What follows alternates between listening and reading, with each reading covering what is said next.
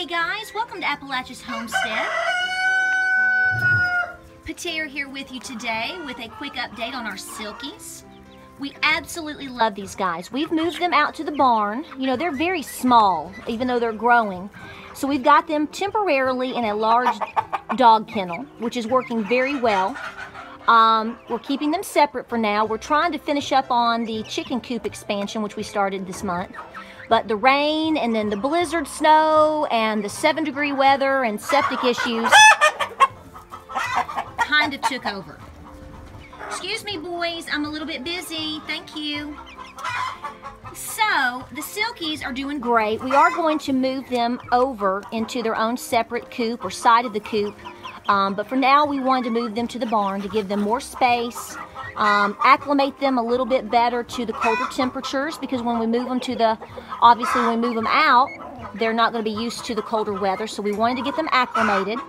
And they're just doing great. You can see how they're growing. We have seven different types. We've talked about those before. We are looking at these babies being, oh gosh, um, they were born at the 1st of November, if my memory serves.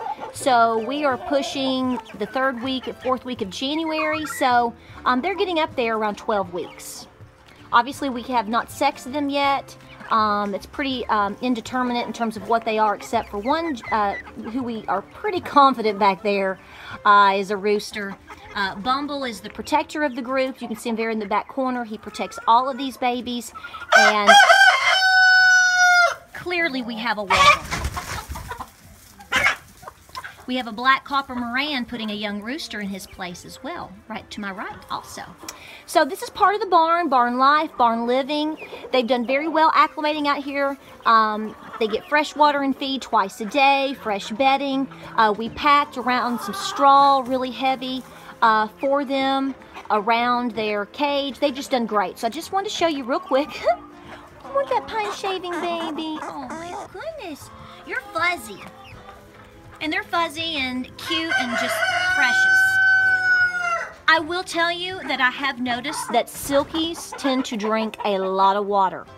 Um, they really, you need to really watch their water and keep everything fresh for them and uh, everything very dry because of their, uh, the way that they are um, feathered out. So I'm going to come in a little bit close here and let you get a little up close and personal of these sweethearts and see how they're doing. We appreciate you asking about them.